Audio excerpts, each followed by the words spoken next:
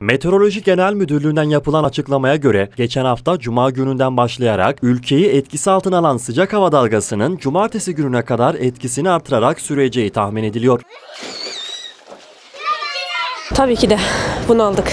Çok sıcak. Memleketimiz aşırı derecede sıcak. Yani sıcaktan tabii ki bunu alıyoruz. Sıcaktan bunalıyoruz, maskelerden bunalıyoruz. Sıcak hava dalgası nedeniyle güneş ışınların dik geldiği 11 ile 16 saatlerinde başta yaşlılar, çocuklar ve kronik rahatsız olanların sıcak çarpmasına karşı dikkatli ve tedbirli olmaları gerekiyor. Ve bu bir, hafta da böyle giderse artık uyuyamayız da biz. Sıcaktan korunmak için ben hiçbir şey yapamıyorum. Çok kötü bir günler geçiriyoruz. Daha ne, ne olabilir? Çift çift maske takıyorum görüyorsunuz.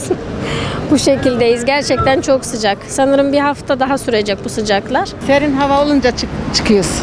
Bağımız var, bağa gidiyoruz. Kahramanmaraş'ta hafta sonuna kadar görülmesi beklenen en yüksek sıcaklık ise 44 derece. Sabahları dinç de kalkamıyoruz sıcak olduğundan dolayı. Evden çıkmıyorum. İkindin evden çıkıyorum. Şu an sadece su içiyorum. Başka hiçbir şey yapmıyorum.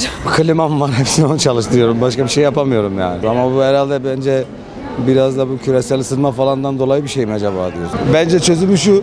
Söyleyelim arkadaşlara bundan sonra arabaları park klimalı yapsınlar.